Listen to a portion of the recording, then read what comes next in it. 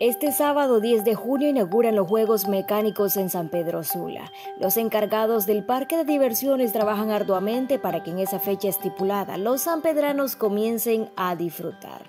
Los Juegos Mecánicos representan uno de los principales atractivos de la Feria Juniana en la capital industrial. Al igual que el año pasado, los Juegos estarán ubicados en el segundo anillo de circunvalación entre la 27 y 33 calle, cercanas al Estadio Olímpico Metropolitano. Niños jóvenes y adultos disfrutarán de la variedad de juegos mecánicos de Playland Park. Aparte de este atractivo, la Municipalidad de San Pedro Sula prepara diversas actividades para la Feria Juniana 2023.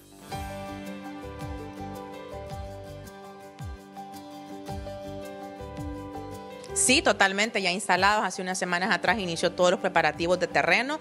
Ya están los juegos instalados. El área de parqueo también ya está lista. Estamos muy contentos. El 10 de junio damos por inauguración de los juegos mecánicos en San Pedro Sula por la Feria Juniana. Ellos empiezan a operar de las 5 de la tarde. De 5 de la tarde a 2 de la mañana serán los horarios que van a manejar los juegos mecánicos. El estacionamiento también ya está coordinado con ellos el espacio. Desconozco este año qué precio van a tener eh, juegos mecánicos, pero sí ya está el terreno todo trabajado para poder brindar un espacio seguro y cómodo para la familia sanpedrana. Zona Juniana sí, ya estamos aquí en labores trabajando arduamente para poder brindar estos espacios a, a los sanpedranos de entretenimiento. Ya tenemos casi todo listo. Hoy inició el montaje de escenarios, esta semana inicia el montaje de energía ya las marcas empiezan a montar sus espacios también en Zona Juniana que arranca el 14 de junio, del 14 de junio al 2 de julio, de 4 de la tarde a 2 de mañana, todos los días en Zona Juniana, un artista nacional.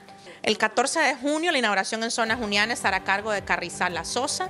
Tendremos a DJ Chaval también con nosotros en Zona Juniana y tendremos diversos grupos de entretenimiento para poder dar por inaugurada la zona segura de esta feria juniana. El parqueo es grande, es amplio, mucho más grande que el año pasado. Tiene capacidad alrededor por 450 vehículos y el valor del parqueo, según me informan, se debe estandarizar para que sea 50 lempiras.